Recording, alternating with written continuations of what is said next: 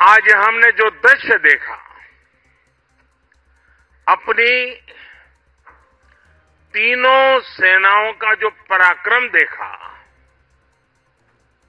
वो अद्भुत है। आसमान में ये गर्जना, ज़मीन पर ये जांबाजी, चारों दिशाओं में गूंजता है विजय घोष। ये नए भारत का आह्वान है।